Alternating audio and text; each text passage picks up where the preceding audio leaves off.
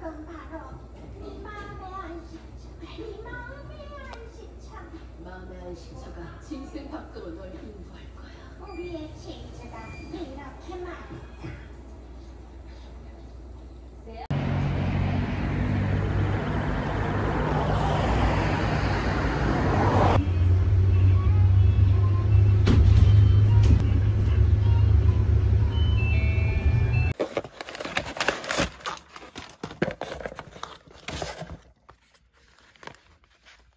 BRTC에서 또 보내주신 화장품이에요.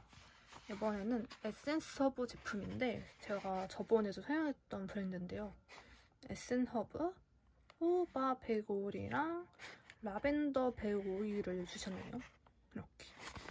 저도 이거를 지금 뜯어봐서 한번 확인을 해봐야 될 것 같아요. 한번 뜯어볼게요.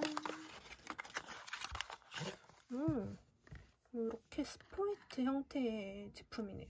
보습과 영양을 주는 100% 순수 호호바 오일이래요. 어, 진짜 호호바 오일이 100% 들어있다고 나와있어요. 오, 얘도 비건이에요. 요즘 이렇게 비건에 관심이 생겼는데 비건 화장품이라니 너무 좋아져. 이렇게 약간 yellow 톤이네요. 이거 딱 오일 느낌입니다. 번질번질한 거 보이시죠? 냄새도 진해요. 이게 100%다 보니까 확실히 냄새가 음, 진한 걸 알 수 있네요. 뭔가 엄청 건조하거나 그럴 때 발라주면 괜찮을 것 같아요. 되게 네일샵에서 약간 발라줄 때 그런 번지르한 느낌 있잖아요. 약간 그런 느낌이거든요. 다음은 이것도 에센 허브에서 같이 보내주신 라벤더 백 오일인데요. 음, 아주 귀엽다. 쬐끄만. 얘는 한번 읽어보자면 얘도 라벤더 100%라고 적혀있어요. 원액입니다, 원액.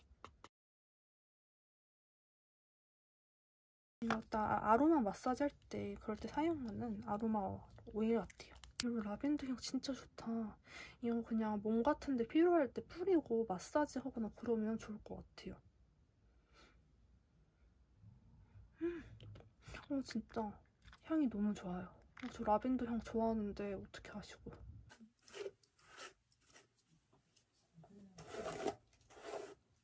한번 이 오일 느낌이 좀 궁금해가지고 한번 발라보려고요.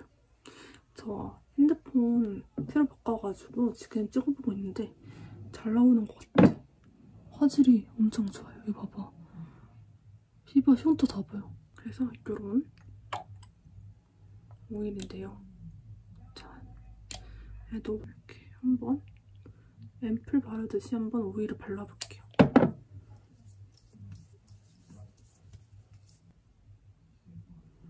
T존이랑 볼 부위가 많이 건조해가지고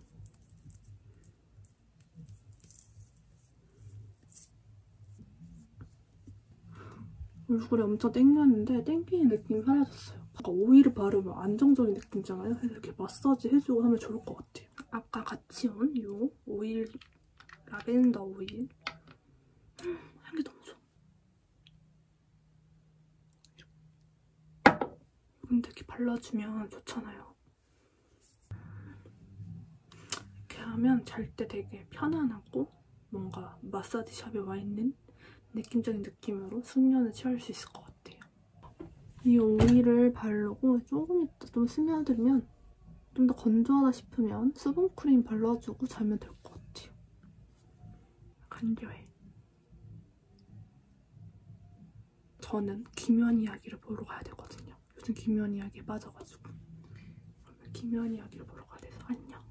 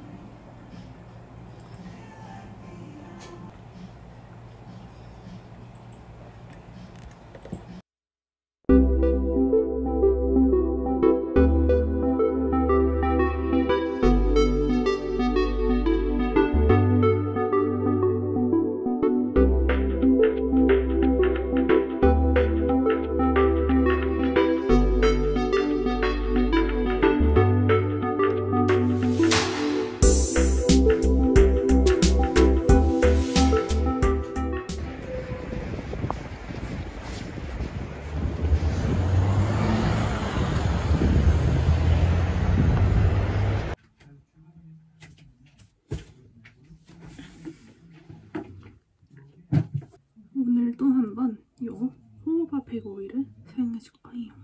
일단 제 머리를 감고 왔는데 샤워랑 얼굴이 진짜 땡겨요. 그래서 얘를 먼저 발라줄게요.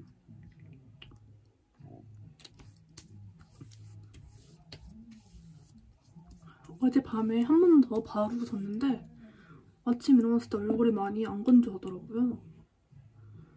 그래서 느낌이 좋아요. 이거를 hair에도 발라도 된다고요. hair랑 그다음에 body. 그래서 전체 다 사용 가능한 다기능? 다양하게 사용 가능한 오일입니다. 그래서 머리에 한번 발라주려고요. 손에 해서 오일 바르듯이.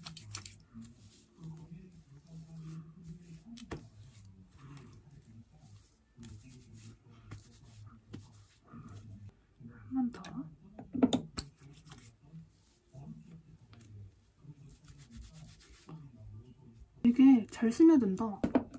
그러면 머리를 말려주도록 하겠습니다.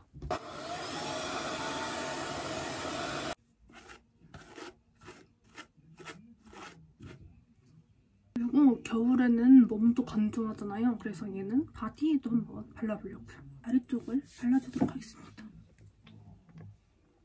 그냥 스포이티라서 사용하기 진짜 편해요. 그냥 짠 다음에 근데 진짜 이게 흡수력이 빠른 것 같아요. 발라보면 발라볼수록 특히 건조한 곳에다가 뿌리면 진짜 금방 쏙 가. 그래서 한번 다음에는 화장하기 전에 도전해보려고요. 저는 제 피부가 지금